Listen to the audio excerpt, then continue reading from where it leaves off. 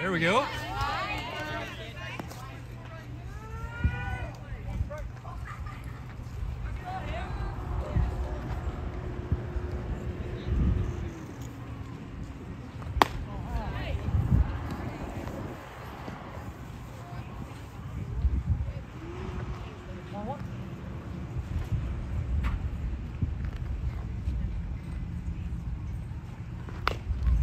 right, way to work ahead.